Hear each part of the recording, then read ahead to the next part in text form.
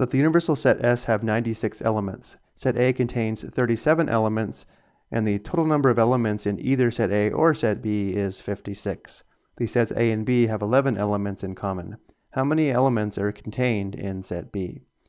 Let's begin by recording the given information. The universal set S has 96 elements, and therefore the cardinality of set S is equal to 96. Set A contains 37 elements. The cardinality of set A is equal to 37. The number of elements in either set A or set B is 56, which means the cardinality of A union B is equal to 56. And then we're also told sets A and B have 11 elements in common, which means the cardinality of A intersect B is equal to 11. And now record the information in the Venn diagram below. Let's begin with the intersection of set A and set B, which is this set here. Because set A and B have 11 elements in common, or because the cardinality of A intersect B is 11, we know we have 11 elements in this set here.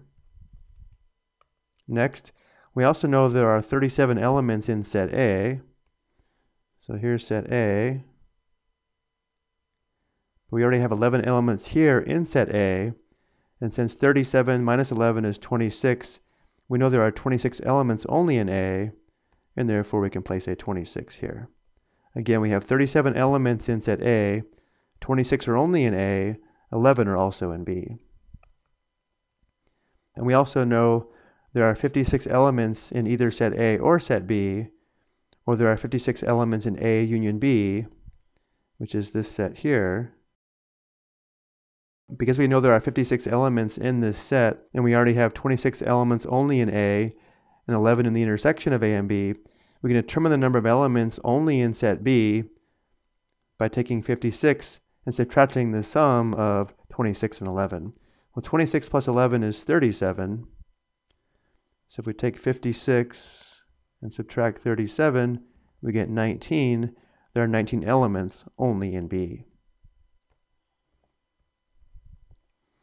And now to complete the Venn diagram, let's determine the number of elements that are not in set A and not in set B.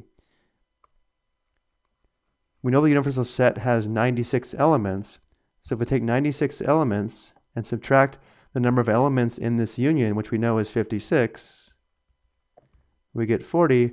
There are 40 elements not in set A and not in set B, but in the universal set. And now let's answer the question. The question is how many elements are contained in set B? Well, here's set B. There are 19 plus 11 or 30 elements in set B.